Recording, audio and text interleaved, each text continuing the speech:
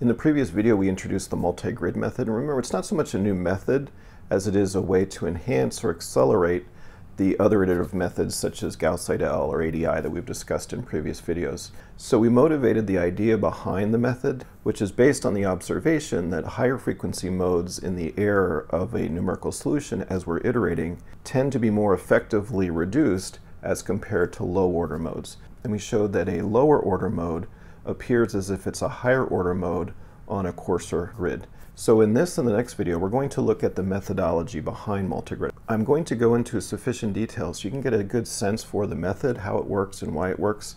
Also, so if you were to use the multigrid method in the future, even if it's an open source code, for example, I want you to be able to choose the parameters and the approaches that are used wisely based on an understanding of the underlying method itself. So far we've been focusing on the Poisson equation as a standard canonical example of an elliptic partial differential equation. Here I want to introduce a more general second order PDE just to show that there's no reason why we can't extend these techniques to more complicated elliptic partial differential equations. So here we have a second order linear partial differential equation with variable coefficients. So we have second order derivatives in x and y, first order derivatives in x and y, we have a zeroth order derivative term, and then we have these variable coefficients on each of those terms, as well as a non-homogeneous right-hand side. So this would be elliptic if a times c is greater than zero. Go back and look at that previous video where we defined elliptic, parabolic, and hyperbolic partial differential equations. If we use second order accurate central difference approximation for the first and second order derivatives, then we get this mess right here. So here's the second derivative in x, first derivative in x, second derivative in y, first derivative in y, and I've used our usual ij notation to indicate, for example, a evaluated at x sub i and y sub j. If we gather together everything times each of our u's, we get our finite difference equation. So it's everything times ui plus 1j, ui minus 1j, uij plus 1, ui minus j plus 1, and uij. The little a, b, c, d, and e coefficients you can see here and they encapsulate all those variable coefficients. And again, we have the right-hand side. So this is our usual one, two, three, four, five point finite difference stencil.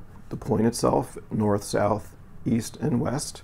And we're going to represent this in the shorthand, L operating on U hat is equal to F. U hat here will be the exact solution to this differential equation. L is the difference operator, everything operating on U on the left-hand side. So whenever you see the L, just imagine this difference operator. Then we can define the error. The error is the difference between the exact solution, u hat, and a numerical solution, u. So we'll call that e for the error. Then the residual, as we've seen before, is just f minus lu. So for an approximate solution for u, f minus lu tells us how wrong that solution is. That's the residual for that solution. As always, if u happen to be equal to u hat, the exact solution, then the residual, of course, would be zero. So let's start with this representation, LU hat is equal to F. Our difference operator operating on the exact solution is equal to F. From this expression for the error, U hat is equal to E plus U. So let's substitute that in here. So we have L operating on E plus L operating on U is equal to F. Solving for LE, that's equal to F minus LU. But f minus Lu, well, that's just the residual. So what we've done is shown a different way to express the same finite difference equation. Instead of being for u hat, the original dependent variable, it's now for the error. And you'll notice that the right-hand side is now the residual. So this equation is equivalent to this equation, but now for the error. We'll see why that's useful and helpful in a little bit. I want to introduce the coarse grid correction, or the CGC scheme. This is the process by which we use coarser grids to update the solution and accelerate the iterative process. So let me first define the various grids because we're going to be going between a finer and a coarser grid. The fine grid we're going to note by capital omega h. h is what mathematicians use to indicate delta x, so it's the grid size. And then the coarse grid will be capital omega 2h. So h is like delta x, that's the fine grid, 2h like 2 delta x, that's the coarse grid, taking every other point. So the way this will look is if these solid dots are the fine grid, sorry my picture wasn't very good here, and then the circled points that is my coarse grid if we take every other point out to get the coarse grid. So we have our fine grid and our coarse grid. We're going to need to be able to move information between these two grids. And the way we do that is using the restriction operator and the interpolation or the prolongation operator. The restriction operator takes us from the fine grid to the coarse grid. So it's going to move information from the fine to the coarse grid. The interpolation operator moves from the coarse grid to the fine grid. So from coarse back to fine. So here are the steps in the coarse grid correction sequence. The first step is to relax or iterate on the original difference equation LU is equal to F on the fine grid. You see the H superscripts on all of these in this equation. So we're iterating relaxing on the finest grid for the original variable U. We could use Gauss-Seidel, we could use ADI, and we're going to do that nu one times. Once we have an approximation for U on the fine grid, we're going to use that approximation, you read this from right to left, F minus LU, which is the residual on the fine grid, and then restrict it using the restriction operator from the fine to the coarse grid to get the residual on the coarse grid. So we start with UH, we get RH, we restrict it to 2H, and that's step two. Once we have that residual, that is the right-hand side of our error equation, which we're then going to solve, put that in quotes for now because I'm not sure how I'm going to do that, that we're going to solve on the coarse grid. But again, notice that it's the error equation, LE is equal to R, that we're solving on this coarser grid. Once we have that solution for the error, we can use that to correct the solution on the finer grid. Again, reading from right to left, we have the error on the coarse grid. We interpolate that up to the fine grid, use that to correct the approximation that we had previously from step one to get a new approximation for u on that fine grid. So in that way, we've used this coarse grid correction to correct the original approximation that we had in step one on the fine grid with now a better approximation using the coarse grid correction. Finally, we'll relax again on the original difference equation LU is equal to F on the fine grid, and we'll do that nu two times. Once we've completed these steps in the coarse grid correction, we should have a better approximation for the solution U than we had when we started. Here's how it looks graphically. Now you've seen me doing the hand motions. Here it is a little more explicitly.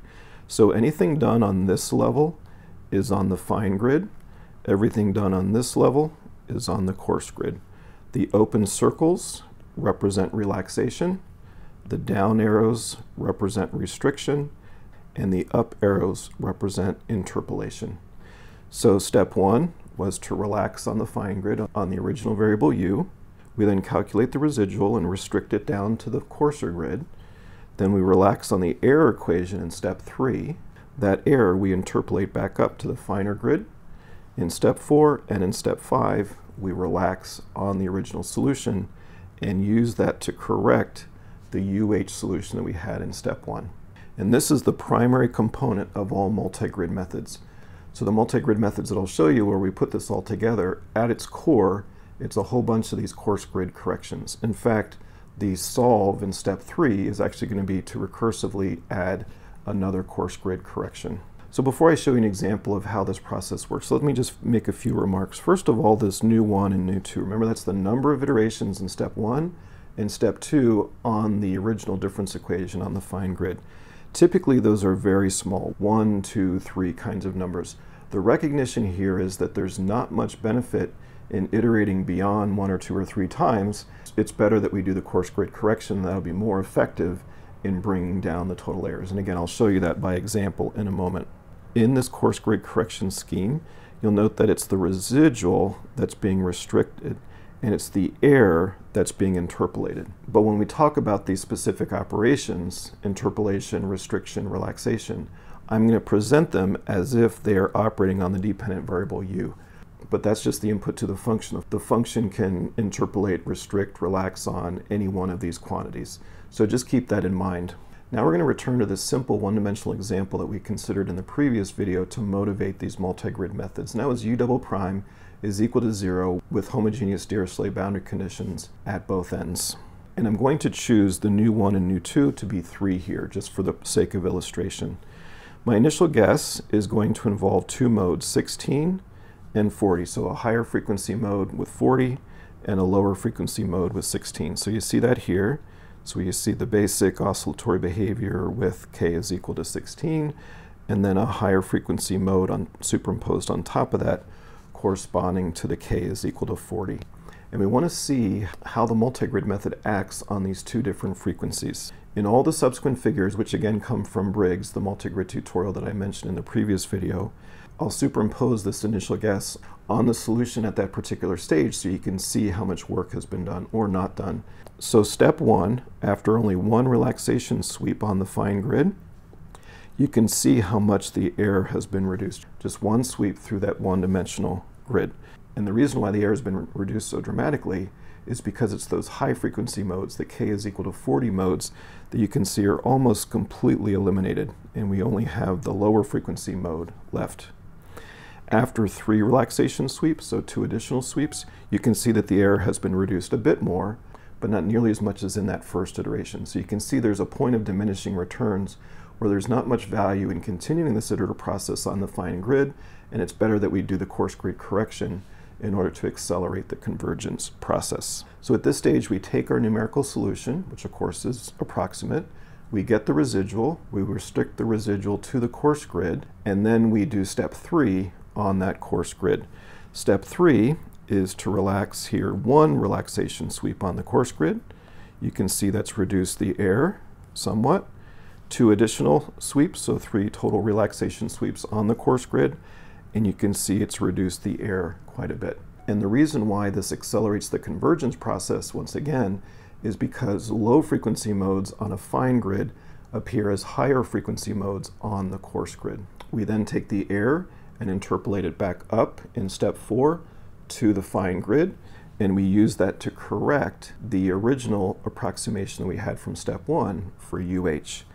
Then, if we in step five relax three additional times, you'll see that the error gets reduced even further. So if you count up the total number of relaxation sweeps, it was three plus three plus three, so that's nine.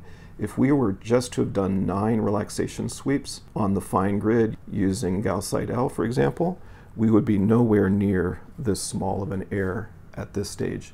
In addition, all the work that's being done on the coarse grid, you only have half as many intervals, so it requires much less computational time as well. So you can see how this is accelerating the iterative process.